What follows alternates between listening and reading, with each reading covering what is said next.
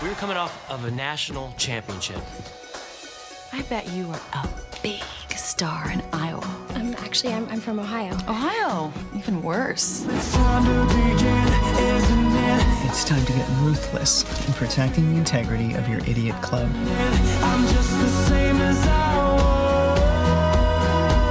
That's a great haircut, Mercedes. I thought you graduated. The Glee season premiere, Thursday, September 13th on Fox.